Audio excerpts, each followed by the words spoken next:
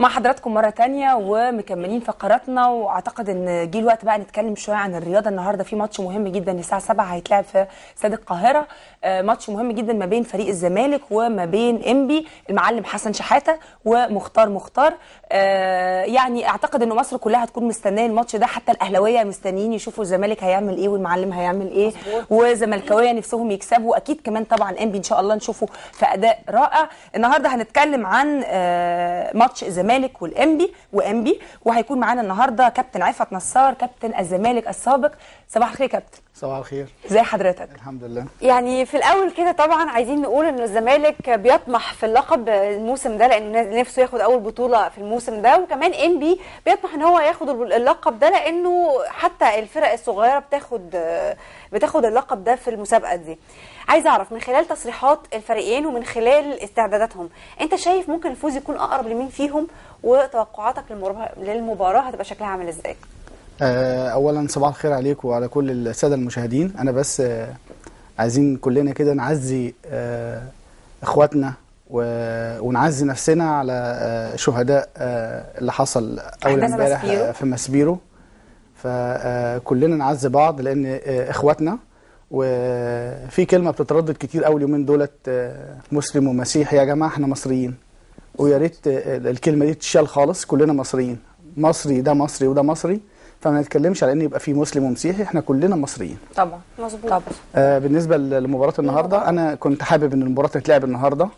آه مهما في أحزان آه لازم نعديها علشان نوصل للامال اللي إحنا عايزينها. وأعتقد إن مباراة النهارده ممكن تكون فرصة كويسة إن إحنا نتجمع تاني وإن إحنا نبص تاني بمنظور مختلف لمصر. كل يوم بيعدي أي نشاط بيقف في مصر مصر كلها بتقف.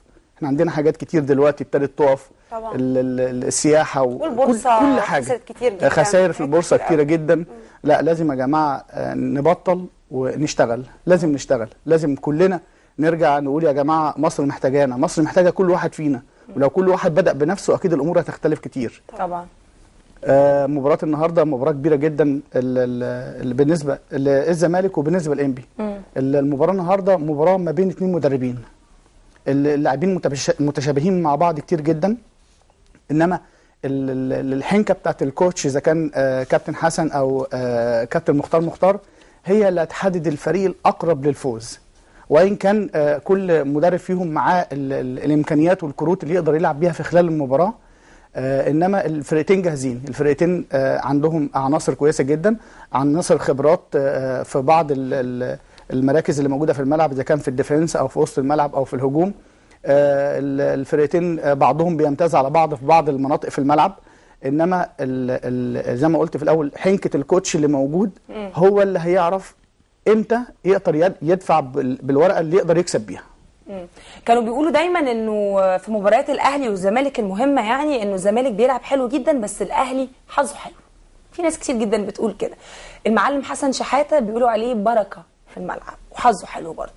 آه متوقع إيه؟ وشايف انه حسن شحاته بصرف النظر عن التكنيك وبصرف النظر عن الخطة وبصرف النظر عن اليمين والشمال وال... وايه اللي هيحصل؟ ولكن ال... ال... التفاؤل وال... وال... والثقة اللي بيديها للعيبة والثقة اللي عنده في إمكانياته والثقة اللي عند كل الناس فيه كمان. شايف إن ده بيفرق معاكوا يا كابتن؟ أو شايف إن ده هيفرق مع الزملكاوية النهارده؟ اولا آه لازم كلنا كمصريين نهني نفسنا إن إحنا عندنا كوتش زي كابتن حسن طبعاً، شحاتة. طبعاً. واحد من الناس اللي سطر التاريخ آه صعب إن أي حد يوصل له تاني. واحد من الناس اللي, اللي عندها رؤية مستقبلية بشكل كويس جدا لل- للبطولات. آه كابتن حسن آه يقدر يرجع لنادي الزمالك اللي فقدوه الفترة اللي فاتت. آه دايما آه انت بتقولي مباراه الأهلي والزمالك كان دايما الزمالك بيقولوا بيلعب أحسن بس الأهلي بيكسب. مش دايما يعني مش دايما بيلعب بس أحسن يعني مش دايما بس أوقات كتير كانت الناس تبقى متوقعة للزمالك الفوز ال- لأنهم فعلا كانوا بيبذلوا مجهود ولكن حظهم ما كانش دايما بيبقى قد كده ودايما الأهلي كان بيكسب.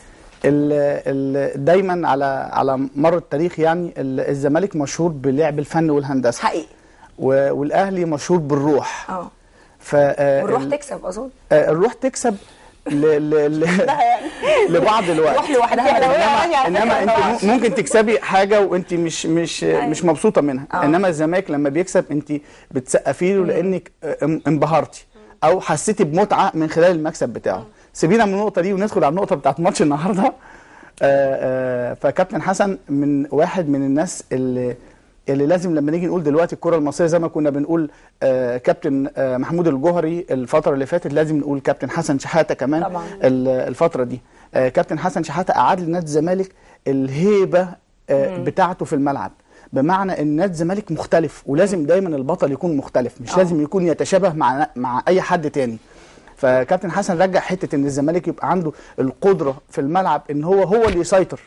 وال- واللي عايز يلعب معاه يعني يحاول يوصل له. دي نادي الزمالك قعدها من خلال الرسم البياني الفترة اللي فاتت اللي من خلال المباريات اللي حصلت وادي دجلة آه، آه، الجونة. حرس الحدود المستوى بيعلى بشكل كويس جدا. ده مؤشر على إن في حاجة كويسة بتحصل. على النقيض لو أنت جيتي آه لعبت مباراة قوية جدا آه كأول مباراة ليكي في الموسم وكسرت الدنيا وبعد كده جه ال curve آه هبط أكيد ده بيبقى فيه drop. ال drop ده ما يبقاش عارفة سببه.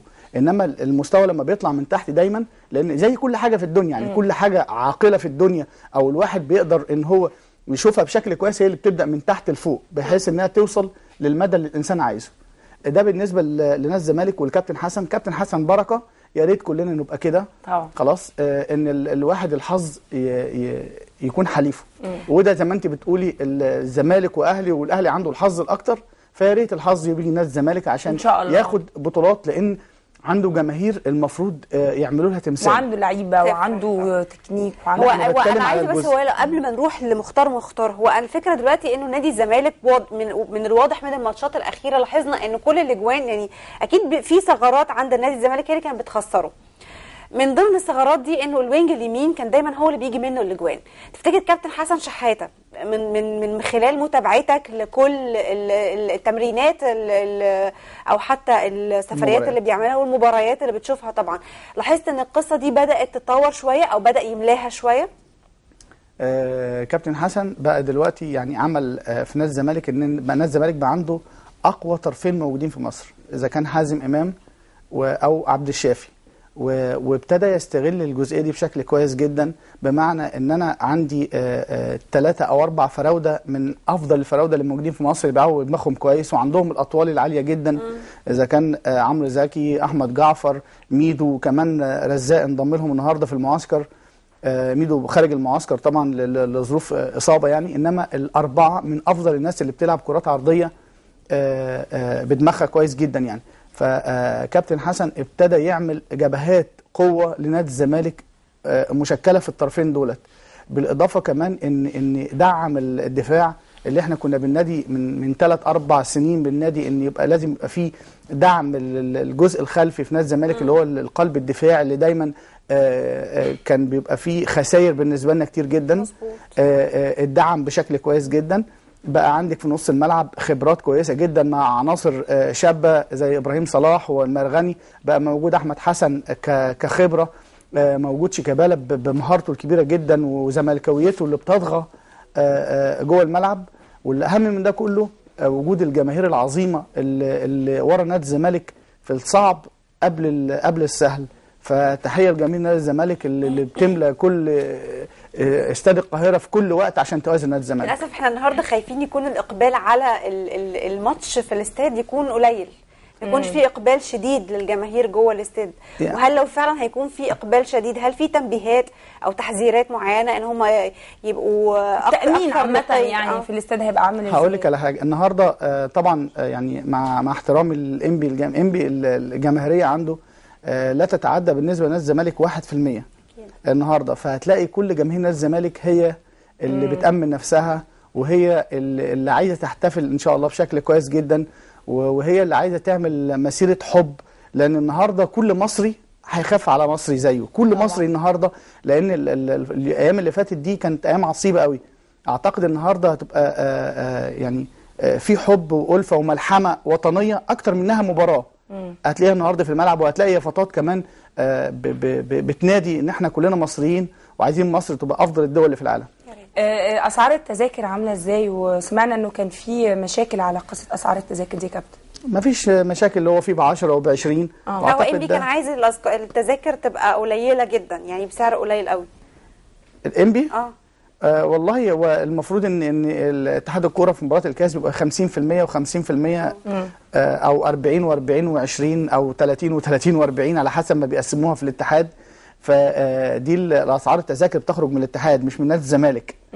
فإنها تبقى ب 10 وب 20 أعتقد إنها في متناول الجميع يعني. في بروتوكولات نهائي كاس مصر المفروض إن رئيس الجمهورية في في, في, في آخر الماتش يعني بعد إعلان النتيجة بيسلم ال- الكاس للفريق الكسبان. آه مين اللي هيسلم الكاس النهارده كمان؟ أعتقد ال- ال- المشير هيبقى موجود النهارده لأن برضو يا جماعة ال- ال- الرياضة هي آه، سمة تقدم الشعوب. طبعا. الدول بتتأذى دلوقتي بالتقدم الفني والتقدم الرياضي على إن هم دولت الفيرست وبعد كده أي حاجة تانية. فاعتقد إن لازم النهارده يبقى آه، متواجدين كلنا آه، إذا ما كانش حتى الزمالك أو أي فرقتين تاني. آه. لأن آه، دي الصورة بتاعتنا اللي بتترسم في العالم كله. طبعا. فلازم إحنا نجملها بشكل كويس. أكيد. بالنسبة للحاجات المهمة برضو في كل المباريات والأحيان بيحصل حواليها مشاكل كتير لجنة ال- الحكام. آه، لجنة تحكيم في كرة القدم آه، كانت رفضت تحكيم إيطالي. وبعدين رجعت وافقت على تحكيم سويسري. تفتكر إيه اللي خلى لجنة التحكيم انها توافق أو تفضل التحكيم السويسري عن التحكيم ال- الايطالي؟ يمكن التحكيم السويسري مظبوط على الساعة بالظبط يعني. يعني هل في مثلا حاجة معينة؟ كتير. آه بياكلوا شوكولاتة هم عندهم الساعات مظبوطة فأكيد جابوهم يعني. إيه ما بيخافوش مثلا يعني ولا آه إيه؟ لا لا لا هم ال- ال- الموضوع بيبقى فيه آه آه آه يعني السالري معمول معين أو مبلغ معين بيتحط لل- لل- اللي بيجوا. فممكن يكون ال- الاختلاف في دي أو إن الاختلاف يكون في نوعية الحكم اللي هيتبعت. يعني ممكن الاتحاد ال ال ال ال الإيطالي يبعت حكم هم شايفين هنا إن هو ما عندوش سيرة ذاتية كويسة جدا أو إن هو يقدر يدير المباراة بشكل يليق بمباراه نهائي كأس مصر. ويمكن ال- ال- ال- الحكم السويسري اللي موجود ده في واحد فيهم جه قبل كده في مباراة ال- الأهلي والإسماعيلي كان موجود هنا والاثنين التانيين أول مرة يجوا ورحبوا جدا إن هم يجوا آه، آه، مصر.